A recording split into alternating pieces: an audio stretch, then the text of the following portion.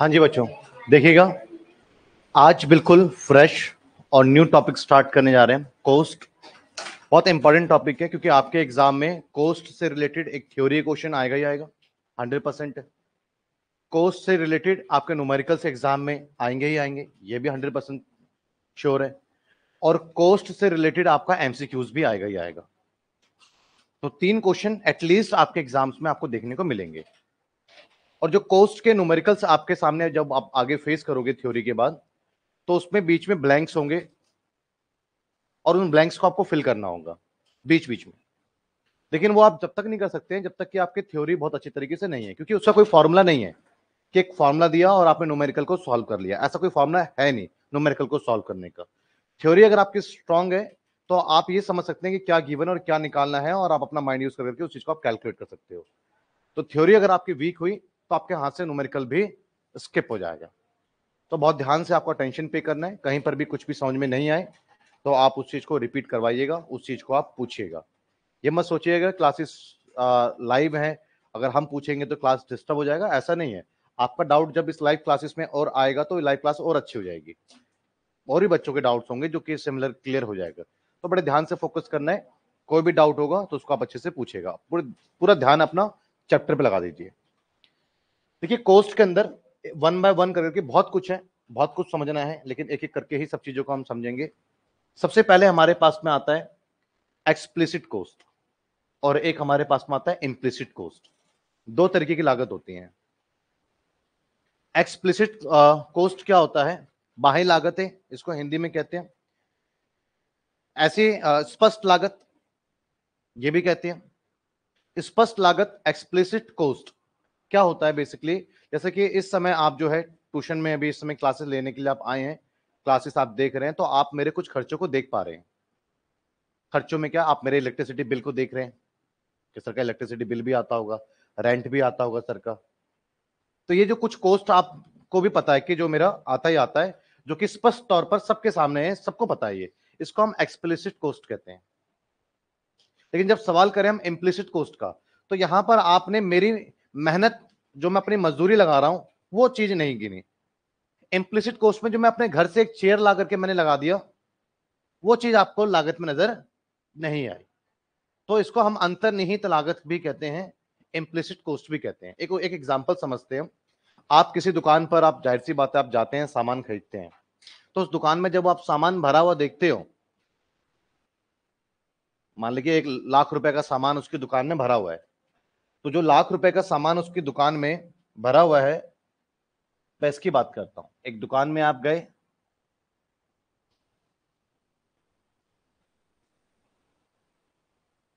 एक शॉप पे गए और आपने बहुत सारे आपने यहाँ पर आर्टिकल्स देखे।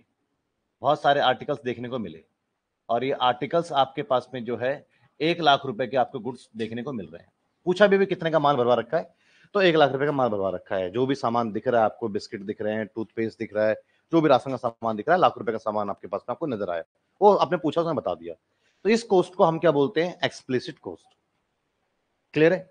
अब इसमें इम्प्लिसिट कोस्ट कहाँ है? तो सेम मैं इसी दुकान की ही बात कर रहा हूँ। इस दुकान पर आप गए बच्चे, इस दुकान में वो सामान तो आपको जो आपको दिख रहा है, लागत, वो तो आपका एक्सप्लिसिट कोस्ट है ही। लेकिन उसने जो दुकान, अपने घर को ही जो दुकान बनाया हुआ है उसने, अपना जो है एक फ्लोर उसने ग्राउंड फ्लोर अपना जो है दुकान में यूज़ कर रहा है। उसका किराया आपको नहीं दिखा, लेकिन वो भी तो उसकी लागत है। हालाँकि वो अपना वो किराया देगा नहीं, लेकिन अगर वो किसी और को देता तो उतना पैसा तो उसको मिलता ना किराया। उसे दुकान खोल लिया। आप अपने, खुद आप अपने घर में दुकान खोल खोलिए मान लीजिए आपसे किराया जो है पाँच हज़ार रुपए और आपको तीन हज़ार रुपए महीने की कमाई हो रही है। तो क्यों खोलोगे दुकान? इस अच्छा तो आप किराया दे दोगे। चलिए, पाँच हज़ार रुपए आपका जो है किराया है और महीने का आप दस हज़ार रुपए आपकी दुकान से कमाई हो रही है तो क्यों खोलोगे दुकान? पाँच हज़ार तो किराया वैसे आ जाएगा, कहीं और आप काम कर लोगे तो पंद्रह हज़ार रुपये की नौकरी तो आपको वैसे मिल जाएगी। तो बीस हज़ार रुपए जो कमाई हो सकती है, वो आप दस हज़ार रुपए में रुके हुए हो तो क्यों खोलोगे दुकान? तो दो लागतें भी तो आपको देखनी होंगी ना, कि मुझे फ़ायदा हो रहा है नहीं हो रहा है। एक तो मेरी मेहनताना निकल रही है नहीं निकल रही है? दूसरी, कि जो मैंने अपना सामान लगाया हुआ है, वो भी तो मेरा कोस्ट है। तो ये जो दो चीज़ है, एक जो ये व्यक्ति काम कर रहा है, ये और दूसरे जो ये आपके पास में, ये शॉप है, ये दो। ये दो जो है ना, ये अंतर्निहित लागत है जो कि आपको स्पष्ट तौर पर नज़र नहीं आई। इसी प्रकार से जब भी आप कोई छोटा मोटा व्यवसाय करेंगे तो कुछ सामान खरीद करके आप लाएँगे और कुछ सामान आप जो अपने घर से ही अरेंज कर लेंगे। कि आपने बैठने के लिए चेयर घर से ले आया आप, ठीक है ना सिलेंडर अभी फ़िलहाल आपने स्टार्टिंग में अपने घर से ही उसको अरेंज कर लिया, आपने कुछ बर्तन आपने अपने घर का इस्तेमाल कर लिया। तो वो सब जो लागतें हैं, वो भी तो भाई फ्री में नहीं है ना? तो वो सारी लागतें, जो सारी कोस्ट है, उसको हम इम्प्लिसिट कोस्ट कहते हैं। और जो रॉ मेटेरियल वगैरह आप लेकर के आए, वो आपका एक्सप्लिसिट कोस्ट है। तो आपको समझ में आ गया एक्सप्लिसिट कोस्ट क्या होता है? स्पष्ट लागत, जो स्पष्ट रूप पे सबको नज़र आए। और इम्प्लिसिट कोस्ट क्या आया? ये बात समझ में आ गई आपको? दोनों क्या होती है? तो वही बात कह रहा है कि it is the actual money expenditure जो एक्सप्लिसिट कोस्ट होता है ना, उसमें सच में पैसा खर्चा होता है। लेकिन जो इम्प्लिसिट कोस्ट होता है ना, उसमें सच में पैसा खर्चा, अब मैंने अपने घर से चेयर लाया तो मैंने अपने आपको पे थोड़ी करा है। मैंने अपना घर किराया, दुकान पे लगा दिया है तो उसको मैं अपने आपको रेंट थोड़ी दे रहा हूँ। इम्प्लिसिट कोस्ट में सच में एक्सपेंडिचर नहीं होता है अपने ऊपर। बट वो कहीं ना कहीं कंसिडर तो करना ही पड़ेगा ना आपको। लेकिन एक्सप्लिसिट कोस्ट में, जैसे रॉ मेटेरियल ले आए बिस्किट्स वगैरह दुकान पे रखी हुई हैं तो इनमें सच में खर्चा आपका होगा। पेमेंट करके ही सामान लाओगे आप।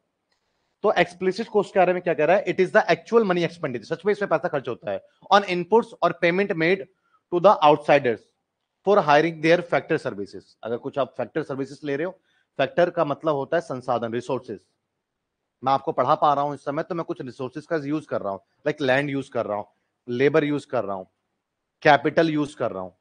ये सारी चीज़ें रिसोर्सेज हैं। इसको हम फैक्टर्स भी कहते हैं। एक ही चीज़ है। तो अगर मैं फैक्टर्स को लेकर के आऊँगा तो उस पर मेरा कुछ खर्चा होगा ना? तो ये मेरा क्या हो गया? एक्सप्लिसिट कोस्ट हो गया। लेकिन वही बात करता है इम्प्लिसिट कोस्ट की तो it is the estimated value of the input supplied by the owners basically मैंने अपने मकान का जो किराया है अपने आपको मैं पे नहीं करूँगा। लेकिन मैं एक एस्टिमेशन लगाऊँगा कि भैया मेरा किराया तो इतना बनता है। अपनी सैलरी मैं खुद को पे नहीं करूँगा बट एक मैं एस्टिमेशन तो लगाऊँगा कि मेरी सैलरी इतनी बनती है। तो ये एक एस्टिमेटेड कॉस्ट होता है। क्लियर है? For example interest on capital अगर मैंने अपना पैसा लगाया अपने बिज़नेस के अंदर तो क्या इसका इंटरेस्ट नहीं बनता है? कहीं और लगाता तो क्या मुझे इसका इंटरेस्ट मिलता नहीं? बैंक में रखता तो क्या मुझे इसका ब्याज नहीं मिलता? तो ये भी तो कॉस्ट है ना। लेकिन मेरा पैसा है तो फिर मैंने उसको एक्चुअल में खर्च इंटरेस्ट पे नहीं करना पड़ रहा है तो कहीं ना कहीं आप उसको एज अ कोस्ट आपको स्पष्ट तौर पर नज़र नहीं आएगी। लेकिन फिर भी वो इम्प्लिसिट कोस्ट होता है कोस्ट की कैटेगरी में वो आपका आएगा। क्लियर है बच्चे?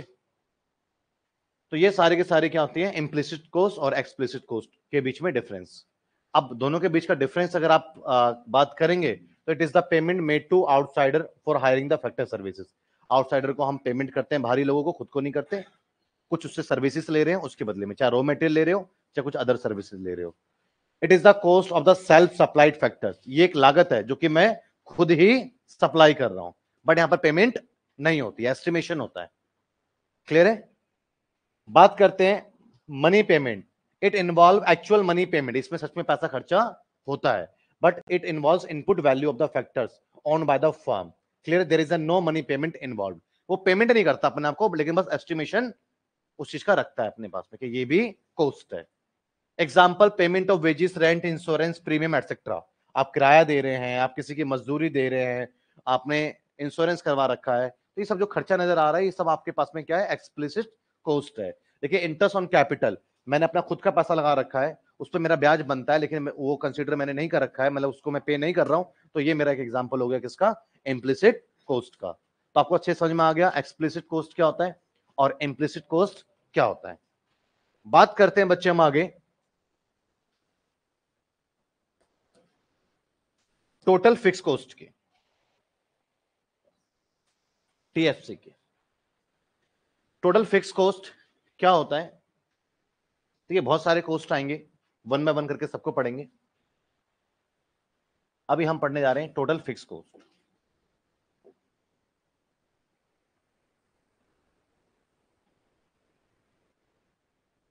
total fixed cost जिसको हम टी फिक्स कोस्ट तो टीएफसी भी कहते हैं। अब टोटल फिक्स कोस्ट क्या होता है, उस बात को समझिए। नाम से क्लियर है, इसको हम जो है स्थायी लागत कहते हैं। कुल स्थिर लागत भी कहते हैं इसको हम हिंदी में। बंदी लागत, ऊपरी लागत ओवरहेड्स ये सारे इसके नाम है। बट आपको जो जनरली टीएफसी वर्ड आपको देखने को मिलेगा। क्लियर है? और हिंदी मीडियम के जो बच्चे हैं, अगर वो आपको कुछ ऐसी कोर्स नज़र आ गई जो कि आपको समझ में नहीं आई कौन सा है? फ़र्स्ट उस क्वेश्चन को इंग्लिश में पढ़ लेना। क्योंकि इंग्लिश में ज़्यादा उसके जो है सिनोनेम नहीं होते हैं। बट हिंदी में बहुत सारे शब्द एक चीज़ के लिए इस्तेमाल हो जाते हैं। तो अगर ऐसी कोई चीज़ है, बंधी लागत, ऊपरी लागत स्थायी लागत, अचल लागत, कुछ ऐसे शब्द हैं इसके लिए, हिंदी में। और इंग्लिश में आपको एक ही शब्द मिलेगा आपको बेसिकली एक तो ओवरहेड मिल सकता है आपके पास में, या फिर आपको जो है फिक्स कॉस्ट मिलेगा तो टोटल फिक्स कॉस्ट जो कि नाम से ही क्लियर है। देखिएगा, आप किसी भी फर्म में अगर अपना आउटपुट बढ़ा रहे हैं, इस समय आप एज अ कंज्यूमर अपने आपको ट्रीट मत कीजिए। आप प्रोड्यूसर बिहेवियर को यूनिट चल रहा है आपका। तो यहाँ पर हमें प्रोड्यूसर के बिहेवियर को समझना है। तो आप वो अच्छे से तब समझ पाओगे जब आप अपने आप को एज अ प्रोड्यूसर कंसिडर करेंगे। तो यहाँ पर आप सब ये सोचिए कि आप एक क्या है? प्रोड्यूसर हैं। और जब आप प्रोड्यूसर हैं तो आप जो है कम्युनिटी को प्रोड्यूस कर रहे हैं। अब जब कम्युनिटी को प्रोड्यूस कर रहे हैं तो उसकी क्वांटिटी वेरी करेगी। ज़्यादा क्वांटिटी का भी प्रोडक्शन हो सकता है, कम क्वांटिटी का भी प्रोडक्शन हो सकता है, या फिर किसी वजह से आप क्वांटिटी का प्रोडक्शन नहीं कर रहे हैं।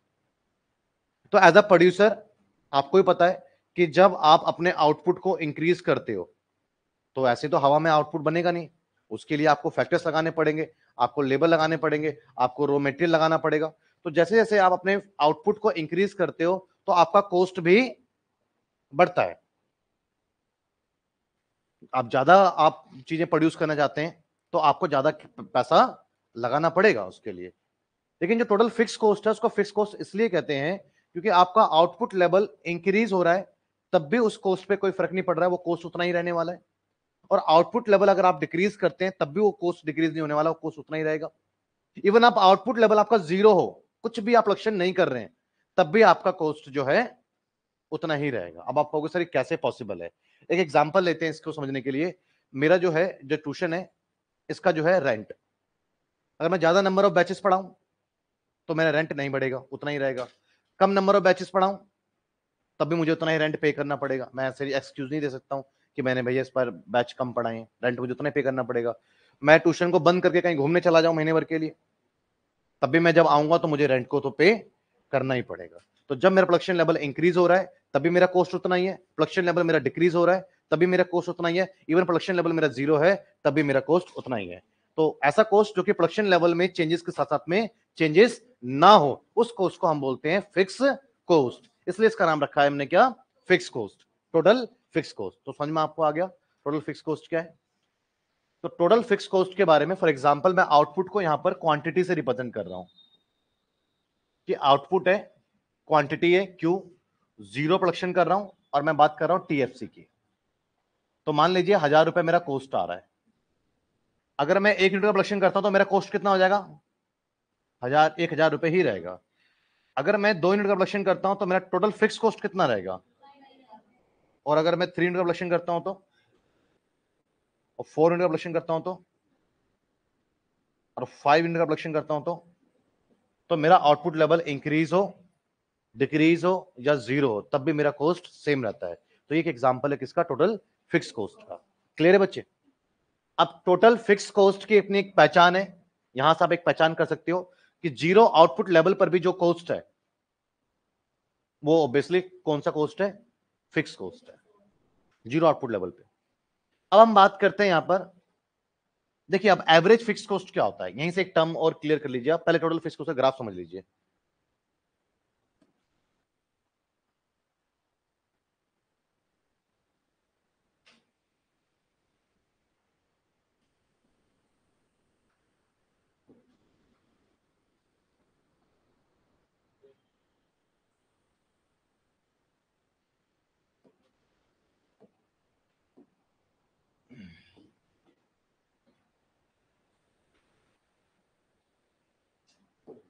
ये बच्चे जो ग्राफ आप देख रहे हैं, ये आपका ग्राफ का ओरिजन है। ग्राफ का आपका एक्स एक्सिस है पॉजिटिव ग्राफ का आपका वाई एक्सिस है। यहाँ पर आपका क्वांटिटी रिप्रेजेंट हो रहा है और यहाँ पर मैं आपका टीएफसी रिप्रेजेंट कर रहा हूँ। ठीक है? तो आपका जो टोटल फिक्स कॉस्ट का जो आपका ग्राफ है, वो ये ग्राफ है। टीएफसी दिस वन ये क्यों है ऐसा ग्राफ आपका? क्योंकि जब आपका आउटपुट ज़ीरो है तो जरा समझते हैं इस चीज़ को। जब आउटपुट ज़ीरो है तो कोस्ट कितना है? इतना लेवल ये और जब आउटपुट आपका बढ़ा तो कोस्ट का लेवल क्या है? सेम और जब आपका आउटपुट इंक्रीज हुआ तो कोस्ट का लेवल क्या है?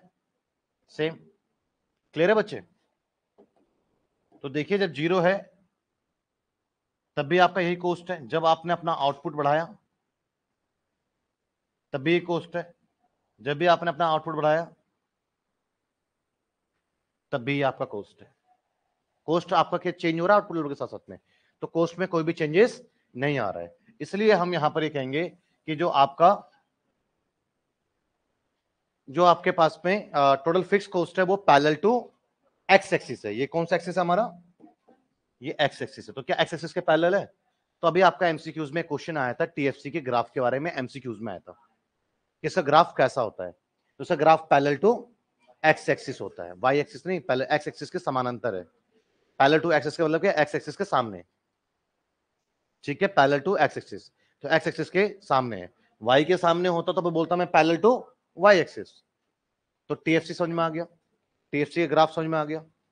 अब यहाँ पर आपको एक चीज़ और समझनी होगी कि एएफसी क्या होता है? Average fix cost. देखिए बच्चे। मैं बात करता हूँ यहाँ पर एएफसी एएफसी से। भी एमसीक्यू एक क्वेश्चन बनता है। देखिएगा, नाम क्या है? एवरेज फिक्स कॉस्ट एवरेज क्या होता है? पहले इस बात को समझिए आप। एवरेज का मतलब होता है किसी भी चीज़ को सब में बराबर बराबर बांट देना। इसको कहते हैं एवरेज करना। मान लीजिए घर में आप तीन भाई बहन है, एक को दस रुपए कोई मेहमान देके चला गया और एक के हाथ में बीस रुपए पकड़ा गया, एक के हाथ में तीस रुपए पकड़ा गया। मेहमान के जाते ही घर में आपने शुरू कर दिया। झगड़ा। तो पापा ने क्या करा? तीनों से पैसे इकट्ठे किए। दस रुपए भी, बीस रुपए भी, तीस रुपए भी। और लड़ाई ही खत्म हो जाए, इसलिए क्या करा पापा ने?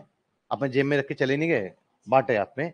तो साठ रुपए आपके पास में इकट्ठे हुए उनके पास में, उन्होंने क्या करा? तीन से डिवाइड करा और तीनों बच्चों को बीस बीस रुपए दे दिए ताकि लड़ाई ही खत्म तो उन्होंने क्या करा? सब में बराबर बराबर बांट दिया। तो बेसिकली एवरेज बीस कर दिया उन्होंने। कि ट्वेंटी क्या है? एवरेज है। तो चीज़ों को बराबर बराबर बांट देना सबके पास में उतना ही रहेगा, ना किसी पे ज़्यादा, ना किसी पे कम। इसको हम बोलते हैं एवरेज अगर एवरेज आपको कैलकुलेट करना है तो इसका मतलब क्या है कि आपको चीज़ों को बराबर बांटना है। और अगर आपको एवरेज दिया हुआ है तो इसका मतलब ये होगा कि सब में बराबर इतना इतना बटा हुआ है। खैर, यहाँ पर मुझे एएफसी कैलकुलेट करना है। तो क्या करना है? बराबर बांटना है। अब जब बराबर बांटना है तो सवाल ये पैदा होता है कि किस चीज़ को बांटना है और किस चीज़ में बांटना है। दो चीज़ है ना, किसको बांटना है और किन पे बांटना है। दो सवाल आ गए ना, बराबर बांटना है तो। तो सबसे पहले आप एवरेज निकाल रहे हैं किस चीज़ का? एवरेज किस चीज़ का है ये? एवरेज किस चीज़ का है? एवरेज है बच्चे ये फिक्स कॉस्ट का। तो इसका मतलब है कि आपको फिक्स कॉस्ट को बांटना है। किसको? फिक्स कॉस्ट को आपको बांटना है। तो हमें किस चीज़ को बांटना है, वो लिखा हुआ रहता है, उसी को देख करके पता लग जाता है कि भैया, इस चीज़ को बांटना है। तो हमें बेसिकली टोटल फिक्स कॉस्ट को बांटना है। किसको? जिसका हम एवरेज निकाल रहे हैं, उसके टोटल से निकाला जाता है। यहीं से न्यूमेरिकल की अंडरस्टैंडिंग लेके चलिए आप। तो हमें एवरेज निकालना है फिक्स कॉस्ट का। तो हमें टोटल फिक्स कॉस्ट को बांटना है। अब सवाल है कि किसमें बांटना है? तो आपको अपने आउटपुट्स में बांटना है, आपकी क्वांटिटी में बांटना है आपको, अपने यूनिट्स में बांटना है आपको। क्लियर है? यूनिट्स पे कैसे बांटेंगे? फॉर एग्ज़ाम्पल टीएफसी आपका एक हज़ार आपका जो है टोटल फिक्स कॉस्ट आ रहा है। प्रोडक्शन कुछ करा नहीं आपने। तो आप इसका फॉर्मूला आपका बनता है कि आपको टोटल फिक्स कॉस्ट बांटना है। और किससे बांटना है? क्वांटिटी पे बांटना है।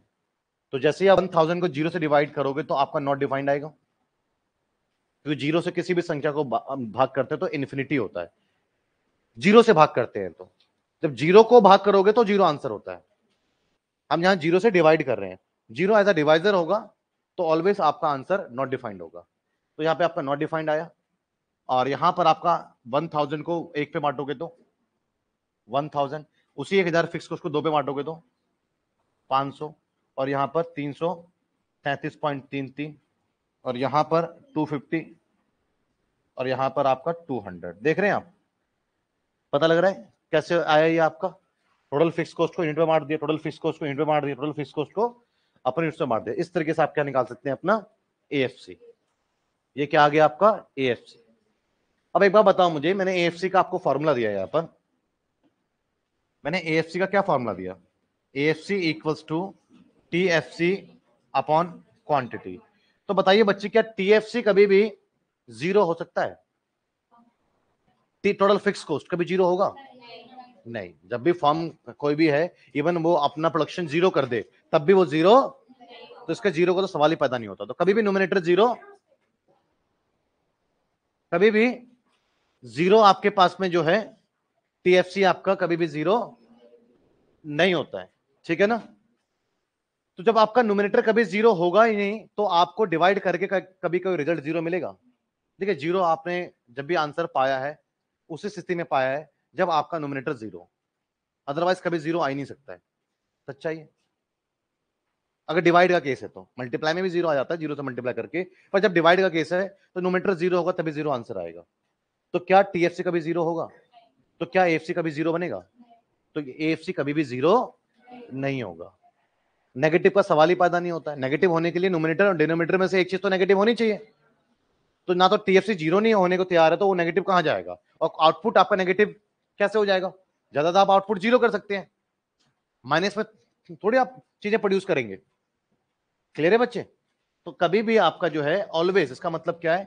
इसका मतलब ये कि A F C always greater than zero रहेगा। मानते हैं इस चीज़ को? जब वो ज़ीरो ही नहीं होगा नेगेटिव नहीं होगा तो हमेशा एएफसी का रिज़ल्ट क्या रहेगा? ग्रेटर देन ज़ीरो रहेगा। ज़ीरो से हमेशा बड़ा रहेगा ए और लेकिन एएफसी आउटपुट बढ़ने के साथ साथ ए आपका डाउन होता चला जाएगा। देख रहे हो? जैसे जैसे आपका आउटपुट बढ़ रहा है, वैसे वैसे आपका ए क्या हो रहा है? डाउन हो रहा है। क्यों? क्योंकि भैया बात जिसमें बढ़ रहा है, वो तो बढ़ रहा है। जिनमें बढ़ रहा है। लेकिन जो चीज़ बढ़ रही है, वो उतनी बनी हुई है। तो वो कम कम शेयरिंग नहीं होती, चली जाएगी। पहले हज़ार एक में बढ़ रहा था, वही हज़ार दो में बढ़ रहा है, वही हज़ार तीन में बढ़ रहा है, वही हज़ार चार में बढ़ रहा है, वही हज़ार पाँच में बढ़ रहा है। तो आउटपुट तो बढ़ता जा रहा है, लेकिन वो थोड़ी बढ़ेगा। तो इसलिए आपका एएफसी क्या, आपका धीरे धीरे कम होता चला जाएगा। तो अगर मैं एएफसी के ग्राफ की बात करूँ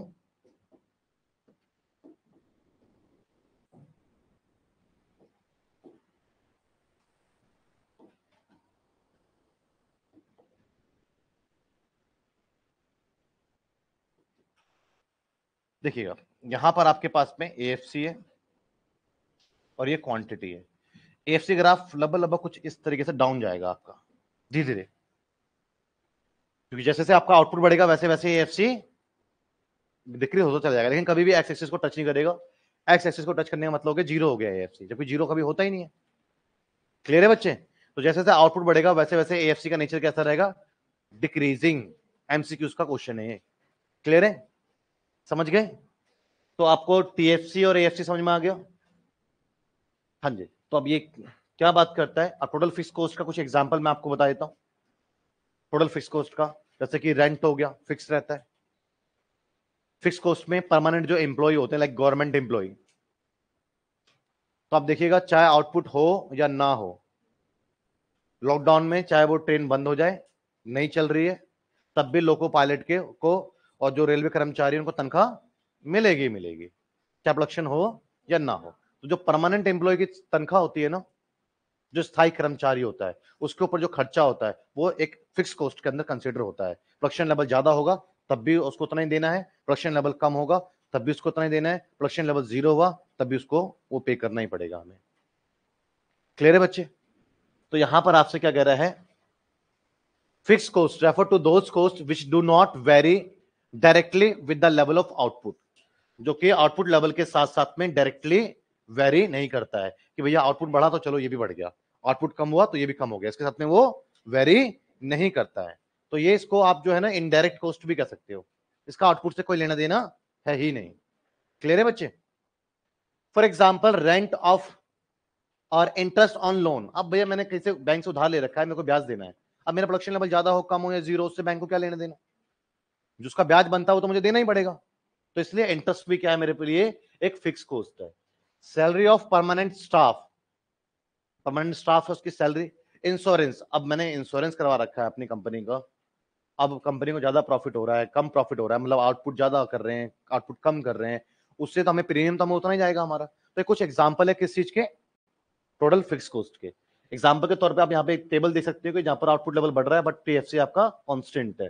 और ये ग्राफ जो ऑलरेडी मैंने अभी आपका बनाया एग्ज़ाम में जब ग्राफ बनाओ ना तो आपको नंबर डालने की ज़रूरत नहीं है। जैसा मैंने बनाया ना पीछे भी वैसे बना सकते हो। हर किसी में नंबर डालोगे पेपर अटेम्प्ट आपका नहीं होगा। और इसके नंबर डाल करके ना तो मार्क्स ज़्यादा मिलते हैं, नहीं तो आपके मार्क्स कम होते हैं। क्योंकि आपके पास में ग्राफ होता नहीं है। आपको पेपर होता है। तो वहाँ पर एक्यूरेट ग्राफ वैसे भी नहीं बनेगा आपका। तो इसलिए फ्री हैंड डायग्राम आप वहाँ पर यूज़ कर सकते हैं। जैसे ये करा ना हमने। फ्री हैंड डायग्राम का मतलब ये नहीं कि आप स्केल स्केल साइड फेंक करके जाएँगे पेपर में। और हाथ से कलाकारी गोल गोल सा कुछ बना देंगे। फ्री हैंड का मतलब ये हो गया कि आप उसको नंबर डालने की नीड नहीं है। बाकी काम पूरे प्रॉपर ऐसे ही होगा।